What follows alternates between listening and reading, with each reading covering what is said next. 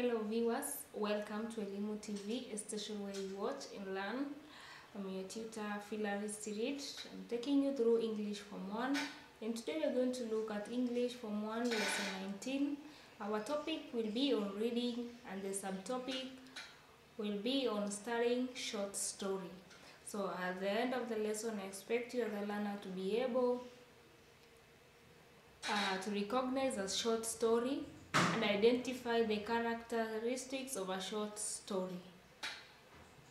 We'll begin our lesson by defining or telling what a short story is and we can say a short story as the name implies is a short prose narrative.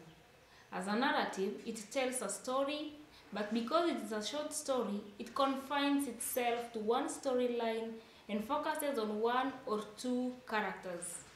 A short story is about an incident or an encounter which reveals some basic truth about human life. Other short stories are based on fantasy and deal with things that could not possibly happen. For instance, you might have a character who wakes up one morning to find himself transformed into an insect. This does not happen and cannot happen. It's a sheer fantasy.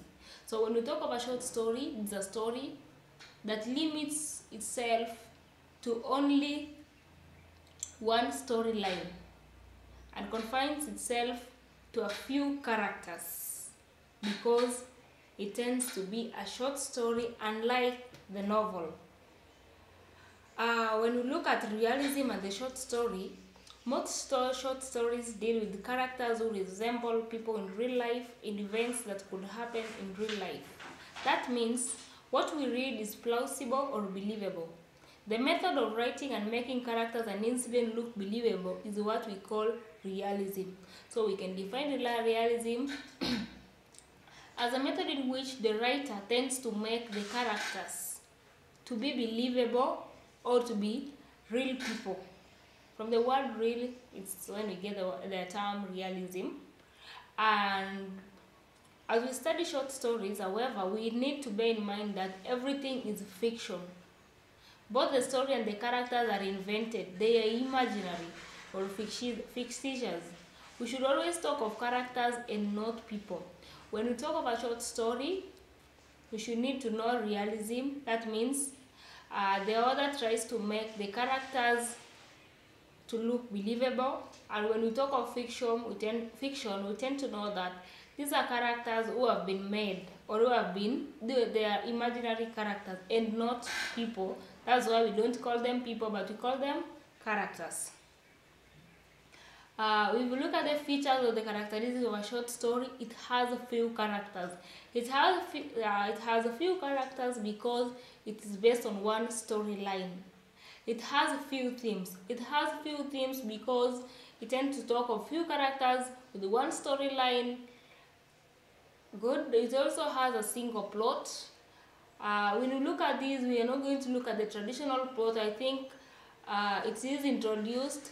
We get the conflicts and we get to the climax in the plot. It has a single setting. It must have been done or the setting of the text must be in one place. It covers a short period of time. It takes a short duration because of the few themes, few characters in the plot. So today our assignment will be on explaining the difference between a short story and a novel. What are the common features of a short story? And what are the examples of a short story that you as a learner know? Uh, for this and much more on short stories, you can refer them to Excelling in English Students Book 1, third edition, uh, published by the Kenya Literature Bureau. You can also contact us on our SMS line as posted on YouTube. At, uh, you can reach us at Elimu TV, Facebook Elimu TV, Twitter at Elimu TV underscore KE. Thank you for the lesson. Till next time.